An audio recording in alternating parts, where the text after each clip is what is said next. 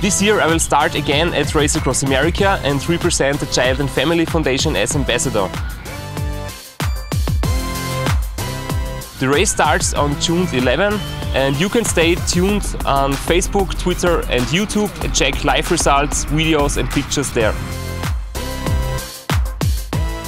My goal is to win the race. Please support me as good as possible and keep your fingers crossed.